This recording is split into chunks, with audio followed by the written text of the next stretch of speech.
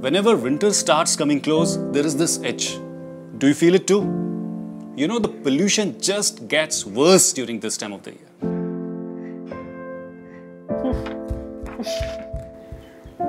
Is this the kind of air we want our children to breathe?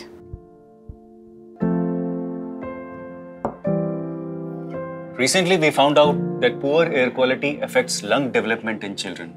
And this made us really worried for a child. We realized that we must invest in an air purifier. But there are so many options in the market, and we were